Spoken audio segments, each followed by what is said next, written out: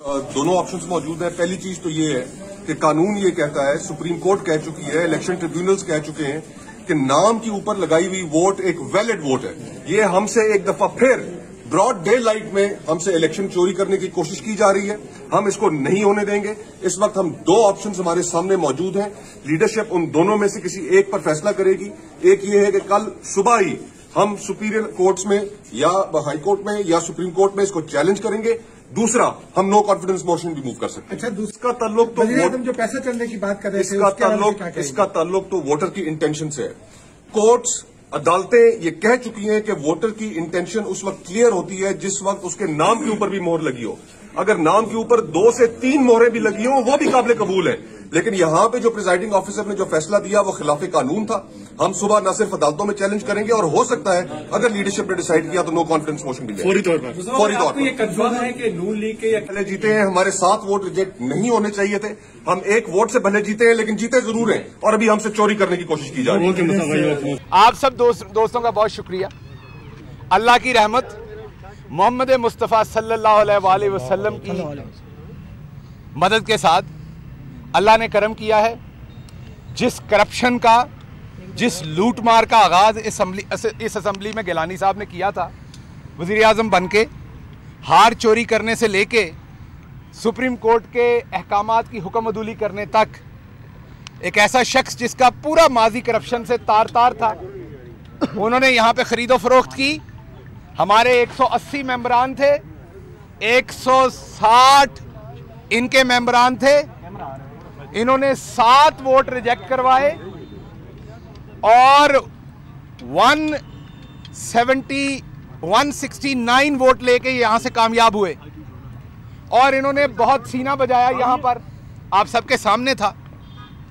इनको इस चीज़ का बिल्कुल ख्याल नहीं आया कि 20 मेंबरान ज़्यादा थे हुकूमती इतिहाद के और इन्होंने वोटों की खरीदो फरोख्त की।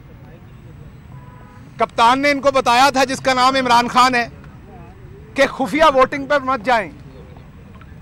आइडेंटिफाइबल वोट कर लें, हमने इनको बार बार कहा। क्योंकि खुफिया वोटिंग पे बाद में आपने रोना है, ये एग्जैक्टली ये इमरान खान ने कहा था। और ये रो रहे हैं कि नहीं, अभी अंदर जाके देख लें। आज सुबह से रोना शुरू हुए हुए हैं। कोई कैमरे बरामद करता है कहीं से? कोई पूरे सेनेट की जो है वायरिंग अखाड़े फिर रहा है। कोई कुछ कर रहा है? और सारी वायरिंग उखाड़ने के बाद जो कुछ उखड़ा है वो आपके अंदर है।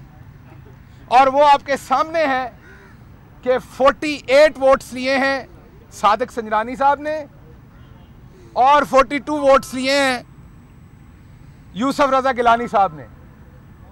इन्होंने सात वोट रिजेक्ट करवाए थे कौमी असम्बली में। मैंने बताया था कि कप्तान मारता कम है, घसीटता ज़्यादा है। तो सूट के साथ हमने आठ करवाए हैं। एक वापस है। तो अब आप ये समेटे इनको इनके साथ वो हुआ कि शादी की गाड़ी कोई और सजाता रह गया दुल्हन कोई और ले गया। गिलानी साहब सेनेटर बनने तो आए नहीं थे। चेयरमैन सेनेटर बनने आए थे। चेयरमैन सेनेट बनने आए थे। तो वोटों की खरीदो फरोख्त की थी कि चेयरमैन सेनेट बनेंगे। उस सब के बावजूद आज चेयरमैन सेनेट सादिक संजरानी है। और एक मोहतरमा जो है, अल्लाह उनको अब सेहत दे, हिम्मत दे ये सब्र झीलने की। हमारे भाई कैप्टन सफदर साहब को भी अल्लाह हिम्मत दे, उन पर भी सख्ती आनी है बहुत ज़्यादा। उनको अल्लाह हिम्मत दे अब इस सदमे को बर्दाश्त करने की, क्योंकि कल तक वो चाह रही थी कि वोट खुफिया हो, और आज वो चाह रही थी कि वोट आइडेंटिफाइबल हो। अब हम इन्हें आगे की दावत देते हैं, आज ही। प्राइम मिनिस्टर इमरान खान की तरफ से आगे की दावत देते हैं ਹੁਣ ਵੀ ਬੰਦੇ ਦੇ ਪੁੱਤਰ ਬਣ ਜਾਓ ਆ ਜਾਓ आइडेंटिफाइबल वोट कर लीजिए आइंदा ये चोर बाजारी खत्म हो लेकिन तुम लोगों ने बाज नहीं आना बिकॉज आप लोगों का तो जो बेस बेस है वही वहां से निकला हुआ है चोरी चकारी से आप लोगों की सियासी पैदाइशी चोरी चकारी से है तो सेनेट के इलेक्शन ने ये वाजे कर दिया वो तो फौजिया अरशद के इलेक्शन ने भी वाजे कर दिया था एक वोटों पे कि कप्तान कहाँ खड़ा है? कप्तान की ताकत कहाँ खड़ी है? आज चेयरमैन सेनेट के इलेक्शन के बाद यह बात और भी वाजे हो गई है। अब इनसे मेरा इल्तमास है कि रोना धोना ना करें, बल्कि अब आए इलेक्शन रिफॉर्म करें इलेक्ट्रॉनिक वोटिंग करें आइडेंटिफाइबल बैलेट करें, ताकि अब जैसे ये रो रहे हैं अभी, दूध का दूध, पानी का पानी हो जाता। इनके मेंबरान ने जारी बात है, इनको वोट नहीं दिए। तो अभी ये दूध का दूध, पानी का पानी कर लेते अगर आइडेंटिफाइबल वोट होता। अभी ये पिटिशन करते, किसी ट्रिब्यूनल में इलेक्शन कमीशन में इनको फाइंड आउट करके दे दिया जाता। तो कहने का मेरा आपसे मतलब यह है कि आज के इलेक्शन ने यह साबित किया कि अगर आप किसी के लिए गड़ा खोते हैं तो उसमें आप खुद गिरते हैं। बहरहाल, कप्तान जो है, वो इनकी तरह ना छोटी सोच रखते हैं ना उनका छोटा सियासी कद है हम इनको आज दावत देते हैं। एक सियासी जमात की तरह इन्हें दोबारा दावत देते हैं। आए इलेक्शन रिफॉर्म्स में काम करें इकट्ठे वोट को आइडेंटिफाइबल करें और इसके साथ साथ इलेक्ट्रॉनिक वोटिंग की तरफ़ मूव करें। रही बात इनकी कि इन्होंने लॉन्ग मार्च करना है शॉर्ट मार्च करना है। जो आज अंदर हुआ है, वही इनका हशर होगा। उसकी वजह यह है कि आप तहरीकें चलाते हैं। माफ़ कीजिएगा। आप आप तहरीकें चलाते हैं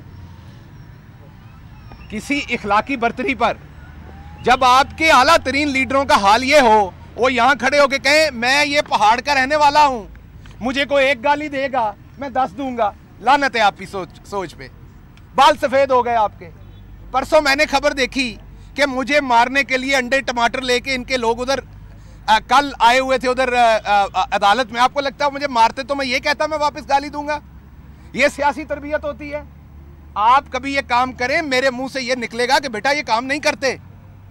आप मेरे साथ बदतमीजी, जिसने भी यहाँ एहसन इकबाल पे जूता फेंका, गलत फेंका था। और अगर कोई मेरे पे फेंकेगा, गलत फेंकेगा। और जब फेंकेगा तो मैं उसको वापस गाली नहीं दूँगा, उसको समझाऊँगा। ये तो इनके लीडरान की हालत है कि मैं इस पहाड़ से हूँ और मैंने इन्हीं पहाड़ वालों को लूटा और फिर इन्हीं पहाड़ वालों ने ख्वार करके मुझे हराया और फिर मैं लाहौर से जाके एक बीक की सीट पे जीता। एक बंदा जो प्राइम मिनिस्टर रहा हो, वो कहे मुझे एक गाली दोगे तो मैं दस दूँगा। वर्कर के साथ, एक आम वर्कर जिसकी उसने तरबियत करनी है। आपने सिर्फ़ अपनी पार्टी के वर्कर की तरबियत नहीं करनी होती। जब आप नेशनल लीडर बनते तो आप सबके बड़े होते हैं। आपने दूसरी पार्टी के वर्कर की भी तरबियत करनी होती है। तो मतलब मुझे कोई एक गाली देगा तो मैं उसे दस दूँगा। मुझे कोई एक थप्पड़ मारेगा तो मैं उसे दस मारूँगा।